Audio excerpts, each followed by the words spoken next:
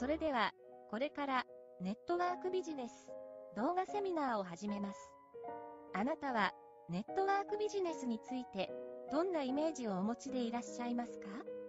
家族、親戚はもちろん、学生時代の同級生、それから通っている歯医者の受付のお姉さんにまでも、とにかくむやみやたらに声をかけて、セミナーなどに勧誘しなければならない。というような考えを、もしお持ちでしたら、それは、今すぐに捨ててください。そのような考え方では、あなたは、周りから嫌われて、友達と、信用と、お金をなくすだけです。これは、ネットワークビジネスだけに限った話ではありません。ビジネスだけではなくて、恋愛関係でも同じことが言えます。例えばある男性が結婚したいと思い、プロポーズをしたとしましょう。あなたなら、どちらのプロポーズがいいですか ?1、君だけが好きだ。僕には君が必要だ。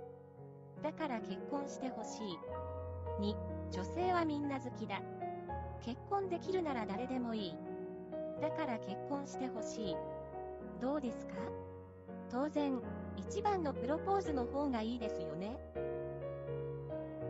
これは、通に考えたら、当たり前のことです。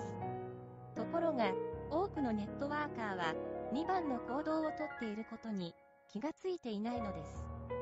誰彼構わず、無差別に、友人や知人、親族、出会う人にまで、片っ端から声をかけて、勧誘しています。誰でもいいから、ネットワークビジネスをやろう。これでは、インターネットの世界では、まず、成功できません。